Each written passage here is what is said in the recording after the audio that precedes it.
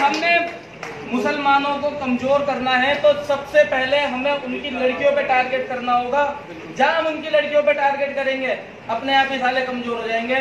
भाई आज का माहौल देखें कि कदम कदम पे आप देखें हमारे लिए कांटों भरी राहें, नित नए फसाने, नित नई बातें, जहनों में गुबार, दिलों में हसद। पूरी ज़िंदगी में खलफचार है। मैं अपनी उन बहनों को मुखातिब करना चाहता हूँ, जिन बहनों के ऊपर उनके माँ बाप ने उन पर भरोसा किया, उनसे मोहब्बतें की, उनको इज़्ज़त दी, उनको तन्हा छोड़ दिया। ये ओवर कॉन्फिडेंस थे माँ बाप का कि अपनी बेटी पे इतना भरोसा किया कि हमारी बेटी कभी गलत हो ही नहीं सकती। हमारी मर्ज़ी के बगैर कभी फैसला कर नहीं सकती। वो बेटी दूसरों के, यानी गैरों के हाथों चली गई। उन माँ बाप से पूछो, जिन माँ बाप ने इसकी परवरिश करते करते बूढ़े हो गए। ये वो माँ है, जिसने नौ महीने अपने पेट में रखा, ढाई साल अपनी छाती का दूध पिलाया, और बीस साल की होने के बाद भी अपने सीने से अलग नहीं किया, अपने साथ लेके सोया करती थी। बड़ा घमंड था, बड़ा गुमान था, अच्छे गुमान थे। मेरी बेटी पढ़ लिख के किसी का घर बसाएगी, उस घर में रौनकें होंगी, उस घर में इज़्ज़त होगी। मेरी बेटी एक ख़ानदान है, मेरे ख़ानदान का नाम रोशन करेगी। मेरी बेटी बड़ी लायक है, मेरी बेटी मेरे फैसले से आगे फैसला कर ही नहीं सकती।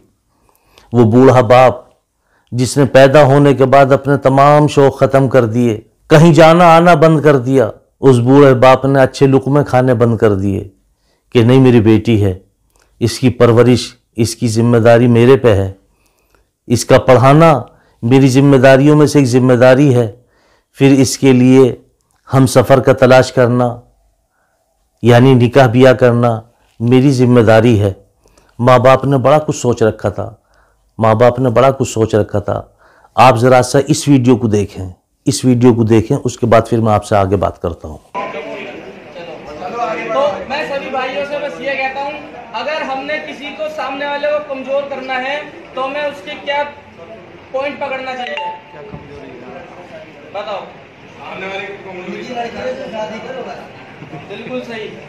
अगर हमने मुसलमानों को कमज़ोर करना है तो सबसे पहले हमें उनकी लड़कियों पे टारगेट करना होगा। जहाँ हम उनकी लड़कियों पे टारगेट करेंगे अपने आप ही साले कमज़ोर हो जाएँगे। भाइयों मैं आपको यकीन दिलाऊँगा जो मेरे साले हैं पाँच जिम है कम से कम दस लाख रुपए महीने कमाते हैं महेंद्र भाई जानते हैं। ठीक है एक जिम मेरे घर के सामने ही है। जो कि अच्छी खासी चलती है। लेकिन फिर भी वो क्यों कमज़ोर है? क्योंकि उनकी नबज ही मेरे हाथ में है। हो, जड़ में जाओ कहने का मतलब ही है भाई का। कुछ मत करो हमारी मुसलमानों से लड़ाई है ही नहीं। हमें तो उनकी लड़कियों से प्यार है खत्म लड़ाई किस चीज़ की मैं तो हम तो उसकी लड़कियों से प्यार करेंगे ना। क्यों? अपने आप ही अपने आप ही कमज़ोर होते चले जाएँगे। चलो भाइयों बस इतना ही कहना चाहूँगा। जय श्री राम।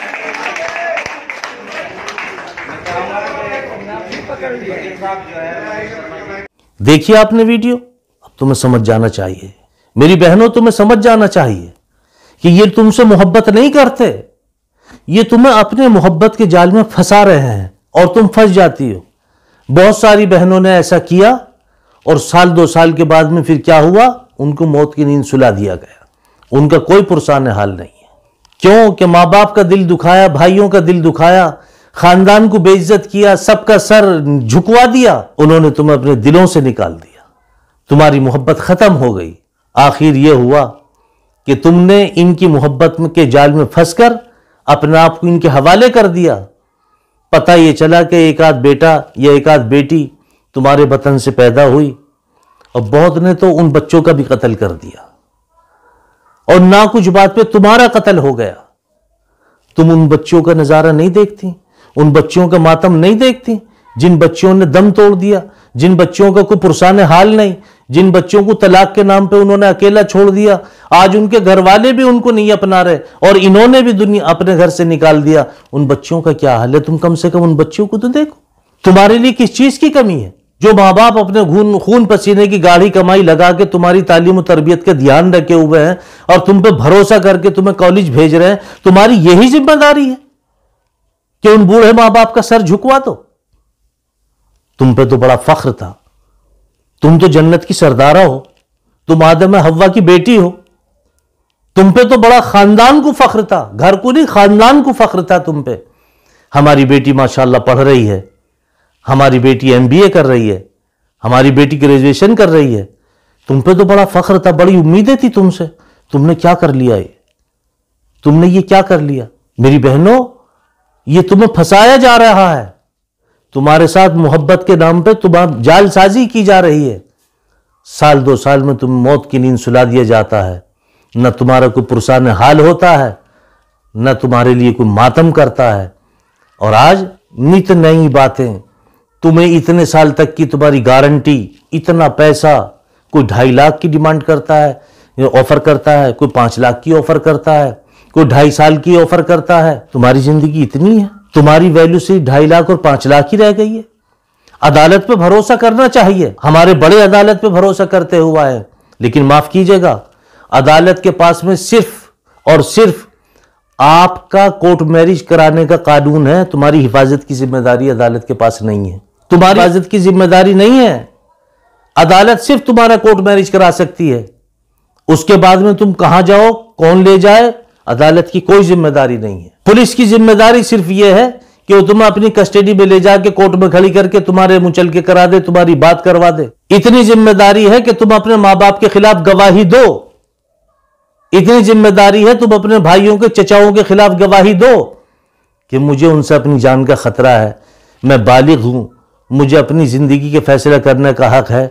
मेरी बहनों, तुम्हें सोचना चाहिए। ज़िंदगी का हक तुम्हें है, लेकिन ये ज़िंदगी तुम्हें मिली किससे है? उस माँ को भूल गई तुम जिस माँ ने तुम्हें नौ पे महीने पेट में रखा, ढाई साल अपनी छाती का दूध पिलाया, और बीस साल की होने के बाद भी अपने सीने से लगा के सोया करती थी? उस माँ को भूल गई? उस बाप को भूल गई? जो बूढ़ा बाप उंगली पकड़ के चला रहा, कभी अपने कंधे पे बिठा रहा है, कभी तेरे लिए गुड़िया ला रहा, कभी तेरे लिए गुड्डा ला रहा, कभी तुझे चीज़ें खिला रहा, तुझे हंसाने के लिए बैठा हुआ है तू सो रही है, तेरा बोसा ले रहा उस बाप को भूल गई? जिस बाप ने तेरे पैदा होने के बाद अपने तमाम शौक खत्म कर दिए कि नहीं मेरी बेटी है, मेरी ज़िम्मेदारी है, मेरी ज़िम्मेदारी बढ़ गई है। आज तो उस माँ बाप को भूल गई, उन भाइयों को भूल गई जिनके साथ में तो अटके लिया करती थी हँसी मज़ाक किया करती थी।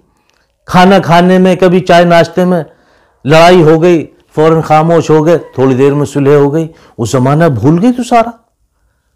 घर में जब तुम बैठ के सर्दी के मौसम में मूंगफलियाँ खाती थी, एक भाई ने इधर से झपट्टा मारा, एक भाई ने, अम्मी, देखो ये मेरी मूंगफली चीन। वो सारी भूल गई।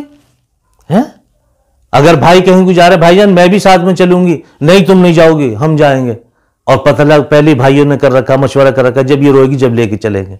वो सारा भूल गई, सारा प्यार भूल गई तो जरा सी देर में। सोचना चाहिए, मेरी बहनों, तुम कहाँ जा रही हो? तुम कौन सी बहनों के पास बैठ रही हो? जिन्होंने तुम्हें ये मशवरे दे दिए, जिन्होंने तुम्हारे दिल में ये बातें उतार दी, आ जाओ आ जाओ। जब जागो, जब ही सवेरा है। आज भी तुम्हें सीने से लगाने के लिए माँ बाप तैयार हैं। आज भी तुम्हें सर पे बिठाने के लिए भाई तैयार हैं। आज भी तुम्हें इज़्ज़त देने के लिए खानदान तैयार है, बिरादर तैयार है। तुम्हें अपनाने के लिए तैयार है। मेरी बहनों, वापस आ जाओ। वापस आ जाओ। वरना तुम्हारी दुनिया भी बर्बाद हो गई और आखिरत भी बर्बाद हो गई। जब जागो, जब ही सवेरा है। वापस आ जाओ, इसी में इज़्ज़त है, इसी में फ़ायदा है। वरना तो देख लो अंजाम क्या है, तुम्हारे सामने है।